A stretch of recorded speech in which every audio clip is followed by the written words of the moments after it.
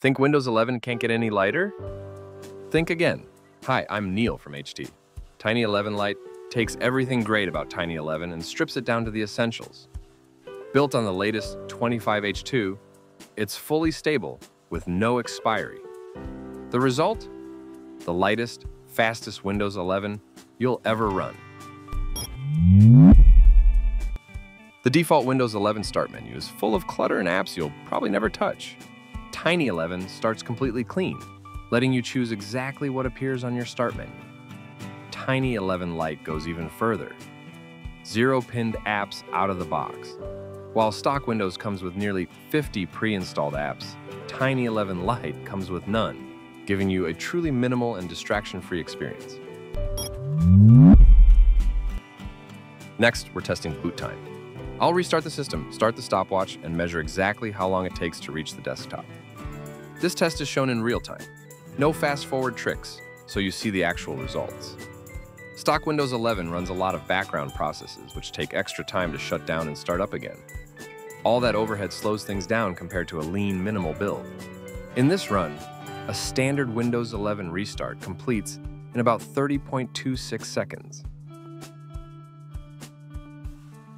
Now let's test boot time on Tiny 11 using the same method shown in real time with no speedups. This restart is noticeably faster since there's no telemetry or Microsoft bloat running in the background. Tiny 11 finishes in just 26.07 seconds, about 4 seconds faster than stock Windows 11. 4 seconds might not sound like much, but on older or slower drives, that gap can grow into minutes saved, making a real difference in daily use.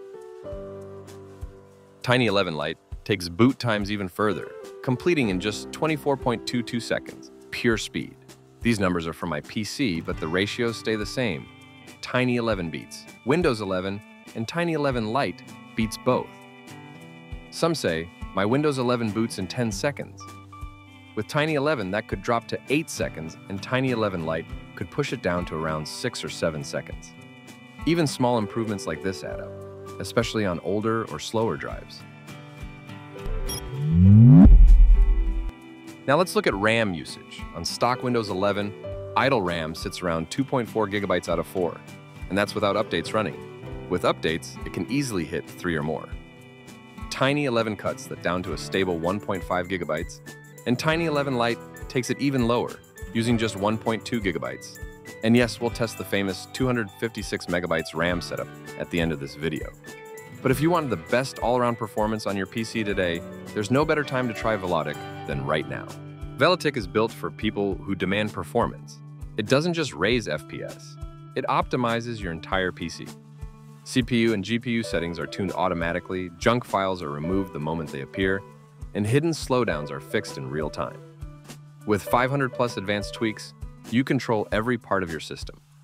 Debloat windows in one click, install apps instantly, unlock hidden hardware features, and manage power plans for maximum speed. Even storage issues are solved. Velotic compresses files safely, freeing up to 70% more space without deleting anything. This isn't a quick hack or a free cleaner. Velotic has been engineered over three years, tested by thousands, and updated constantly. At just $19.99, it's a one-time purchase that pays itself back every time your PC runs faster, smoother, and cleaner. If you want your system to run at full potential without effort, Velotic delivers. Next, let's check storage usage. Stock Windows 11 takes up around 20 gigabytes fresh out of the box, and with updates or hibernation, that can easily reach 40 to 50 gigabytes. Tiny 11 slashes it down to just 6.7 gigabytes, and Tiny 11 Lite trims it slightly more to 6.5 gigabytes. The difference might not seem huge, but keep in mind, going lighter than this would actually hurt performance and stability rather than improve it. This is the sweet spot. Minimal storage usage without sacrificing speed or reliability.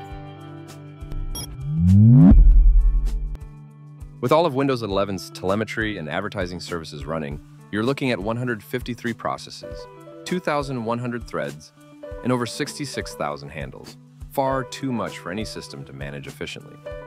Tiny 11 cuts that down dramatically to 104 processes, 1,100 threads, and just 36,000 handles. And Tiny 11 Lite, the ultimate minimal build, goes even further, running around 84 processes, 871 threads, and only 21,000 handles. This reduction not only improves performance, but also keeps your system running cleaner and more responsive. If you're wondering where to safely download the latest Tiny 11 or Tiny 11 Lite, I've linked the official how to install video in the description. Now it's time for some serious benchmarking. A full stress test using Geekbench 6. This test normally takes about 5 minutes, so I've sped up the footage to save time. First, we check Windows 11, hoping automatic updates don't interfere.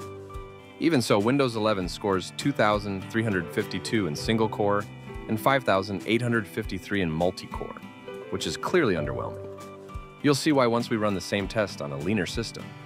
By the way, in case you're wondering who I am, I'm the original creator of Tiny 11, first released in 2021, long before NT Dev appeared in 2023. I've spent years building production-grade, debloated systems and performance boosters for enthusiasts and professionals, not casual users. Next, Tiny 11 scores 2,461 single-core and 6,667 multi-core, showing a solid improvement over stock Windows 11. So what's the difference between Tiny 11 and Tiny 11 Lite? Tiny 11 Lite skips the Microsoft Store, updates, and Defender for ultimate minimalism. Tiny 11 keeps them, though you can toggle them on or off. And now, Tiny 11 Lite blows both away, scoring 2,503 single-core and 6,871 multi-core. In terms of the perfect balance between performance and stability, Tiny 11 Lite is unmatched, fast, lean, and fully optimized for serious use. As promised, we're putting Tiny 11 to the ultimate test, running it on just 256 megabytes of RAM, less than what most PCs from the 1990s had. This is our release standard. If Tiny 11 can't boot on 256 megabytes, it doesn't meet HT and APIDUS quality, and failing builds are immediately dropped. Here, you can see it boots without any issues. In the past, this test would fail at resolutions above 800 by 600. With Tiny 11, we're not just booting, we're running it at full 1080p.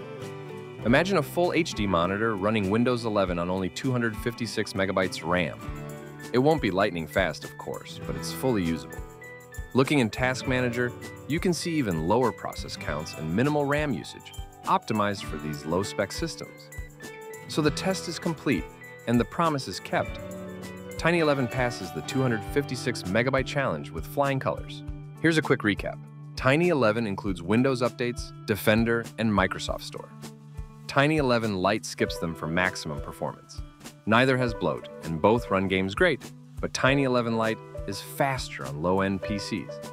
Tiny 11 supports more apps, while Lite focuses purely on speed. Storage? Tiny 11 takes around 7 gigabytes. Lite about 5 gigabytes, the support drivers, browsing, and Windows subsystem. So, Tiny 11 is for stable, everyday use. Tiny 11 Lite is for minimalists and gamers who want raw performance. Like, share, and subscribe. This is Harbor of Tech signing off.